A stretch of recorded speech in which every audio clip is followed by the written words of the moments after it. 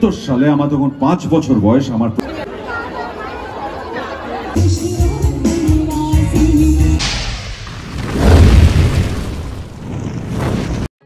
Hello বন্ধুরা।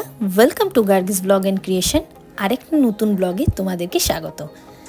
আজকে আমরা এসে গেছি ডাবগ্রাম সূর্যনগর মাঠে পুজোর কার্নিভালে। আর এই কার্নিভালে আজকে আমরা প্রচুর মজা করেছি।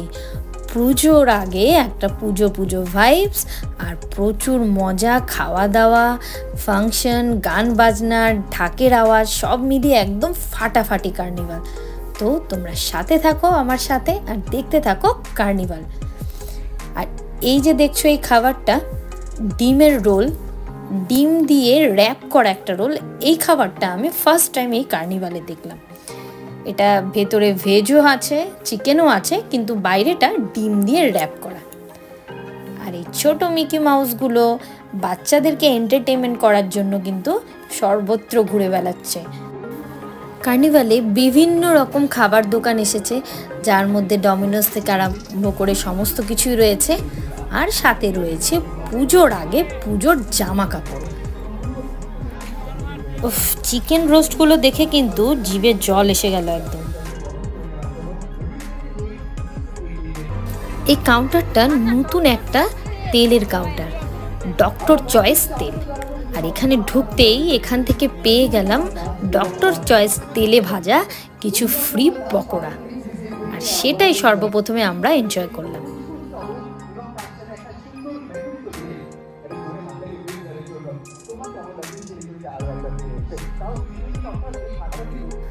মঞ্চের চারিপাশটা কিন্তু বেশ গ্যাদারিং রয়েছে। চলুন এগিয়ে যাই, দেখি মঞ্চে কি হচ্ছে।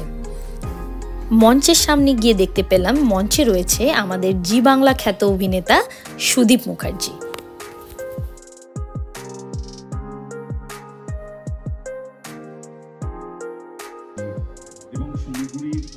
স্টেশন থেকে বেরিয়েই কার্নিভালে সানরাইজের পক্ষ থেকে ছিল বিরাট চমক। ঘন্টায় ঘন্টায় ছিল লাকি ড্র আর বিভিন্ন রকম কম্পিটিশন ছিল, আর সাথে সাথে ছিল হাতে হাতে গিফট আর এই কুপনটা ঢুকতেই দেওয়া হচ্ছিল লাকি ড্রয়ের জন্য, আর সেটা আমরাও ফিল আপ করে জমা দিয়ে দিলাম। এবার চলুন পুজোর আগে জামা কাপড়ের কালেকশনগুলো একটু দেখে নিই।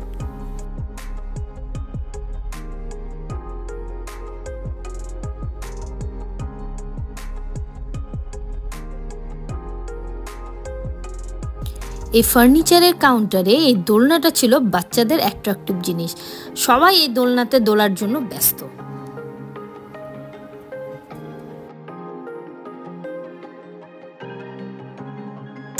কার্নিভেলে একটা ফাংশনের আয়োজন করা হয়েছিল, যেখানে জি বাংলা খ্যাত ময়ূরী এসেছিল গান গাওয়ার জন্য।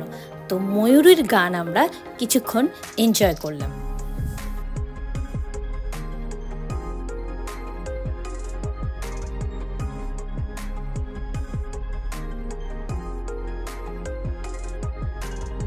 বাঙালি মানেই কিন্তু যেখানেই যায় না কেন খাওয়ার একটা জমজমাট আয়োজন থাকতেই হবে। অল্প অল্প বৃষ্টি পড়তে শুরু হয়েছে, ফাংশনটা এখন কিছুক্ষণের জন্য বন্ধ রাখা হয়েছে। কিন্তু বাঙালি কিন্তু থেমে নেই, চলছেই খাওয়া দাওয়া কিন্তু বন্ধ হবে না। এখানে সব রকম আয়োজন রয়েছে খাওয়া দাওয়ার জন্য। দেখুন অলরেডি বৃষ্টি শুরু হয়ে গেছে। এই বৃষ্টিতে ভিজেই কিন্তু কার্নিভালে লোকজন খুব এনজয় করছে। ফোটা ফোটা বৃষ্টি হচ্ছে, ভিড় কিন্তু যত রাত হচ্ছে তত কিন্তু বাড়ছে। বৃষ্টির জন্য কিন্তু থেমে নেই কেউ, ভিড় কিন্তু কমছে না একদমই।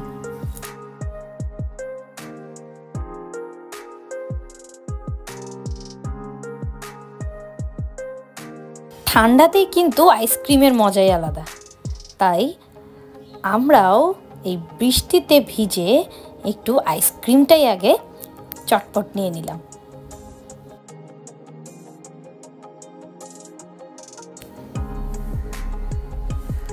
কার্নিভালে ঘুরতে ঘুরতেই মাঠের মাঝখানে পেয়ে গেলাম সুদীপ মুখার্জিকে।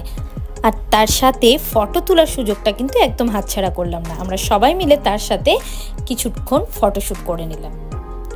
চলো সেই ফটোগুলো তোমরা চটপট দেখে নাও।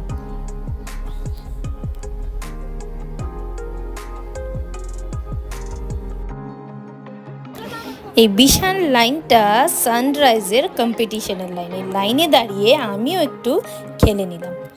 চোখ বেঁধে দেওয়া হলো এবং চোখ বেঁধে তাদের সানরাইজের শাহি গরম মশলা চিনতে বলা হলো। আর হ্যাঁ আমিও চিনে ফেললাম।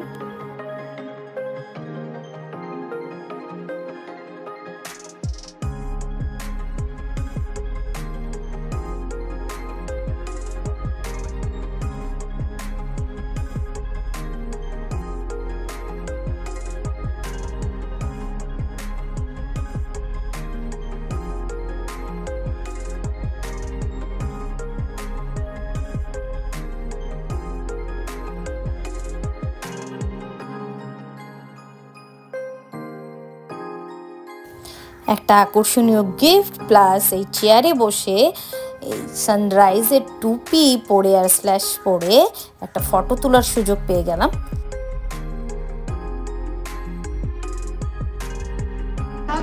দুর্গাপুজোর কার্নিভালে এসেছি আর ঢাক বাজবে না, এটা কিন্তু হতে পারে না। তাই ঢাক বাজতেই সবাই কিন্তু, মাঠের সবাই কিন্তু ঢাকের তালে তালে আমরা নেচে উঠলাম।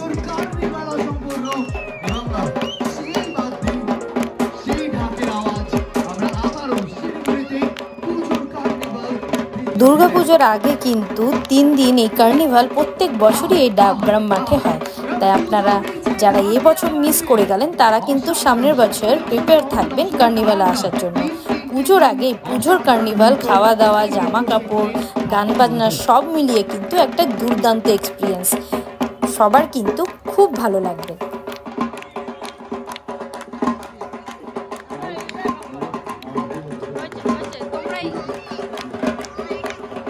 রাত দশটা বেজে গেছে। ভিড় কিন্তু এখনও কমেনি।